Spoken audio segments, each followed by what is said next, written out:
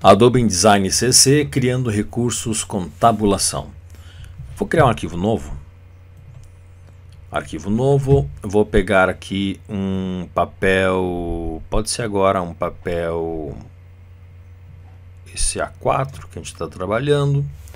Vou colocar ele deitado, tá? Isso mesmo, deitadinho assim, beleza, ok. O que é que faz o recurso de tabulação? Tabulação para você criar uma lista de preços, para você criar um cardápio, ele até poderia ser usado para criar um, um, índice, um sumário, mas não tem um recurso específico aqui para fazer isso, tá? Então não vai ser utilizado para esse fim, mas para você saber como é que é feito. Primeiro, com a ferramenta de texto, nós vamos abrir aqui uma caixa, ok? Uma caixa onde vai ficar então o nosso nosso cardápio, nossa lista de preços, enfim. Beleza, eu vou colocar aqui então o título aqui, lista de preços. Opa, perdão. E agora então aqui, ó, menu tipo, eu escolho tab de tabulação. O que, que ele fez? Ele já trouxe essa régua aqui, ó, de tabulação e automaticamente já posicionou a margem a margem, de acordo com o que eu fiz aqui, tá? Se por acaso ela estivesse fora de posição, basta que você clique nesse imãzinho aqui, ó, esse imã que é aqui no canto, ó, ajustar posição de acordo com o frame a sua janela aí já vai posicionar automaticamente acima. Botão direito aqui na régua, eu posso ver que está em picas, eu posso colocar em centímetros e aqui também mudou para centímetros, tá? T de texto, volto para cá. Como é que funciona? Bom, primeiro eu vou colocar aqui, ó, produto, não, deixa eu, pera aí, pera aí, pera aí, desculpa, pera aí. Quem precisa fazer primeiro aqui, depois do título, é ajustar as posições, tá? Por exemplo, eu quero que tenha aqui uh, produto e valor, ok? Produto e valor, ou seja, o nome do produto e aqui o valor do produto. E, e no intervalo entre a palavra e o valor, eu quero que tenha aqueles pontinhos, sabe? Pontinho, pontinho, pontinho, pontinho. Ou se fosse um cardápio, né? Ou, se, ou aquelas linhas. Enfim, aqui eu tenho os marcadores tá? a posição dos marcadores aqui que eu vou usar na minha tabulação. Se eu quero que fique à esquerda, o primeiro já está à esquerda, então não preciso fazer nada, ok? Esse segundo aqui é o centralizado, se eu quero que uma posição centralizado, e o à direita, que vem aqui no cantinho, tá? Isso aqui é para decimal, mas não nos interessa agora nesse aqui. Então da esquerda não preciso que já está pronto, que é daqui para cá. O segundo aqui, ó, centralizado, eu vou colocar ele mais ou menos aqui, ó. Tem que ser assim, não pode ser na régua, tá? Tem que ser aqui em cima, ó. Clico, colocou. Então eu vou colocar aqui, por exemplo, aqui vai ser então produto, produto. Olha só que legal agora, dou uma tecla tab, ele veio direto para cá, só que ele tá com um preenchimento de pontinho aqui, eu vou tirar. Que agora eu não quero esse preenchimento do pontinho, do pontinho, tá? Aqui eu vou colocar unidade, ou desculpa, aqui, ó clico aqui. Aqui eu quero unidade. Uh, e agora à direita, à direita aqui, ó, eu vou clicar aqui assim no cantinho. E aqui também eu não quero ainda. Aqui vou colocar, clico aqui, clico, opa, ué, tá aqui meu pontinho, tá aqui. Ah, desculpa. Dou a tecla Tab, tem a tecla Tab, tá? Aqui vou colocar valor. Então aqui estão as três colunas e eu ainda posso pegar essa aqui, ó. Essa aqui eu não quero assim, tá? Eu quero centralizado. Então, ó, viu que ele mudou? Ele estava à direita, da direita para a esquerda, né? Eu quero centralizado. Eu troquei, então, esse ponteiro aqui. Quero um pouquinho mais para cá, mais centralizado. Perfeito. Agora eu vou dar Enter. Tá? E agora, então, eu vou dizer que esse marcador aqui, ele vai ter o preenchimento 1.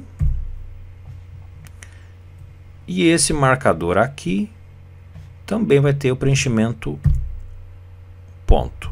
Né? 1 é ponto, tá? Pontinho. Por quê? Agora se eu colocar, por exemplo, arroz. Ó, tá aqui, tá? Se eu colocar aqui, ó, arroz. E a tecla Tab, que aconteceu? Ele preencheu, ele preencheu com aquele pontinho que eu estou usando ali, ó, pontinho, pontinho, pontinho, pontinho. Unidade aqui é em quilogramas, em quilogramas. Tab. Ô, oh, cara. Meu Deus, eu tô digitando aqui em cima. Não pode estar aqui em cima. Desculpa, perdão. É que eu clico aqui não vai, cara. Aqui. Tab. Porque aqui ele repete. Aqui ele repete tudo que tu colocar aqui, tá? Se tu colocar, digamos, a letra K, vai repetir kkkk. Se tu colocar aqui a letra O, vai... Ó, ele repete tudo. Tem que ser o pontinho. Valor do arroz. Vamos dizer que o arroz está custando aqui o quilo, sei lá, 2,20.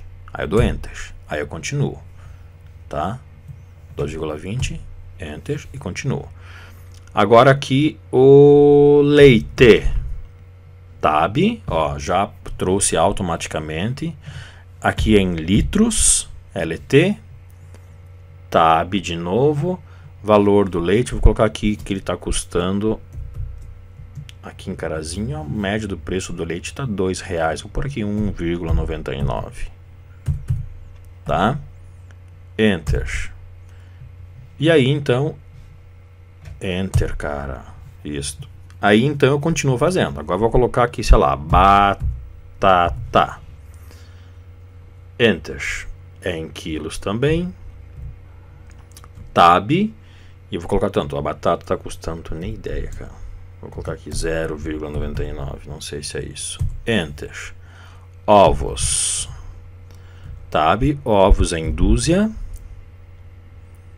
Tab. E eu vou colocar aqui que os ovos está custando a dúzia.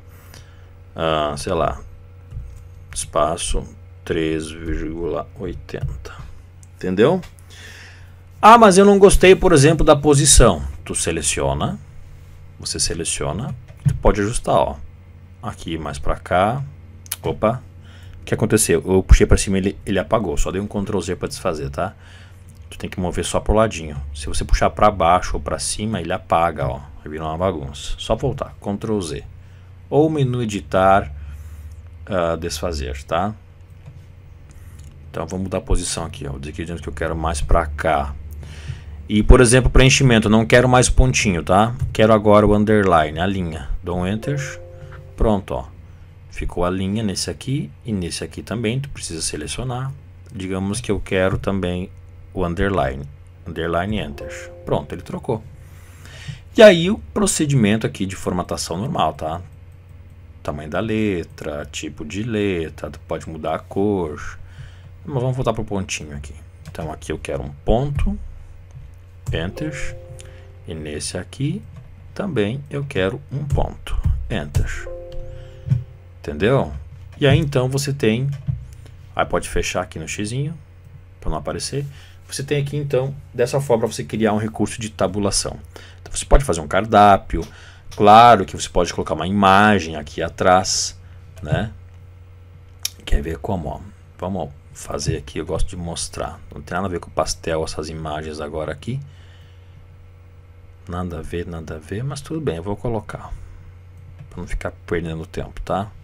Ó, digamos a imagenzinha aqui, botão direito, uh, botão direito na imagem, arrange, send to back, foi para trás, eu tenho aqui a transparência, ó.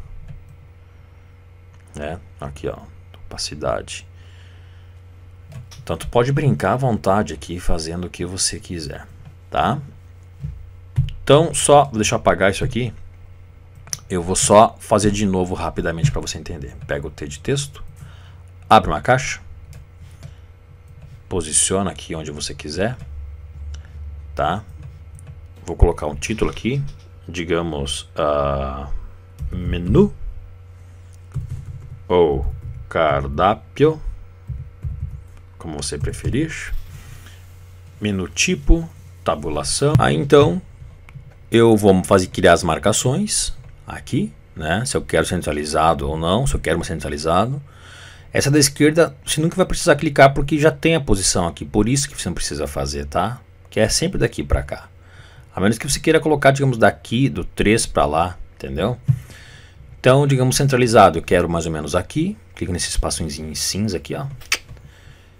Ah, já pode dizer que tu quer, tu quer o preenchimento tal, vou dizer sem preenchimento agora. E o à direita eu quero aqui. Aqui também, sem preenchimento. E aí então você coloca. né? Por exemplo, uh, lanche ou nome, tab. Aí, por exemplo, porção. Aqui vai ter porção, porção. Tab de novo, valor. Aqui eu tirei, né? Preenchimento, porque eu não quero que tenha preenchimento. Ah, e esse aqui é centralizado. Aí, mais para cá. Prontinho. Dá Enter. E agora sim, aqui nessa linha, a partir dessa linha, você vai dizer que esse aqui vai ter o preenchimento 1 e esse aqui também vai ter o preenchimento 1.